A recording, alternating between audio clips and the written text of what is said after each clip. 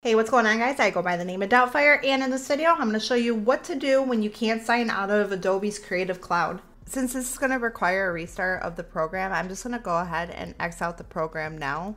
And then what you want to do is you can either hit the Windows key on your keyboard R or you could just simply go to the magnifying glass and then search for run. When run pops up, you want to go ahead type in app data and then once you do so, click OK. And then it'll bring you to this file, this document folder here. So app data, then you want to click on local. And then you want to go, Adobe should be like right at the top for you and click on Adobe. And then this OOBE file, go ahead and click on that.